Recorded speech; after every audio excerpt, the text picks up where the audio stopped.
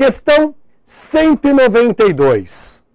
João, Pedro e Tiago, três investidores amadores, animados com a popularização das criptomoedas, investiram 12, 14 e 24 mil reais, respectivamente, em moeda virtual.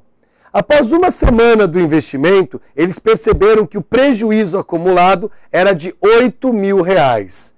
Deveria ser dividido entre os três em proporção diretamente ao, é, direta aos valores investidos. Nessa situação, em caso de desistência do investimento, após a constatação do prejuízo, João Pedro e Tiago receberão, respectivamente, as quantias em reais. Questão fácil. Assunto: divisão proporcional. Se o aluno sabe fazer uma divisão proporcional, ele mata essa questão. Se ele não souber, aí ele vai ter dificuldades em resolver essa questão. Então, eu vou usar aqui uma técnica que eu explico aos meus alunos, chamada de soma, divide e multiplica. O aluno que faz uma questão de divisão proporcional e sabe esse truque, ele não precisa montar um sistema de equações, que é o que normalmente você vai encontrar em livros que explicam como resolve essa questão. Eu não vou usar um sistema porque isso gasta tempo e espaço. Então eu vou usar um truque de resolução que eu inventei e que funciona nesses tipos de questões. Vamos ver esse truque? Vem comigo. Então, eu tenho que dividir esse prejuízo, 8 mil reais, na forma direta do que cada um investiu. 12 mil, 14 mil e 24 mil. Como isso aqui é uma proporção, né? Como isso daqui é uma proporção, eu vou simplificar. Dá para simplificar por 2 mil. Dá 6, dá 7, por 2 mil dá 12. Então, estou dividindo de maneira proporcional a esses números aqui.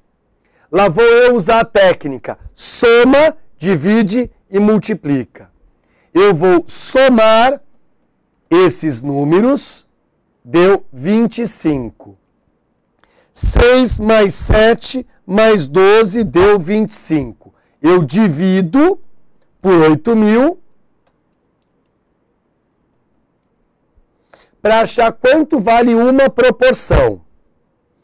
8 mil dividido por 25, uma proporção equivale a 320 reais. Então, se eu pegar esse valor e multiplicar por 6, eu vou achar o prejuízo da primeira pessoa. Se eu pegar 320 e multiplicar por 7, eu vou achar o prejuízo da segunda pessoa. E se eu pegar 320 e multiplicar por 12, eu vou achar o prejuízo da segunda pessoa.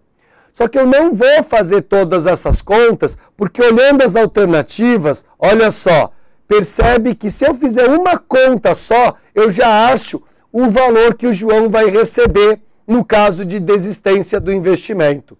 Então eu não preciso fazer toda essa continha, tá? Eu vou fazer só uma. Então multiplicando 320 por 6, eu estou achando prejuízo do João. Só que isso não é a resposta da questão, tá? Isso aqui não é a resposta. Se você bobear, ó, você marca a letra E. Eu não estou querendo prejuízo, eu quero saber o quanto o João vai receber. Como o João tinha investido 12 mil reais e teve um prejuízo de 1.920,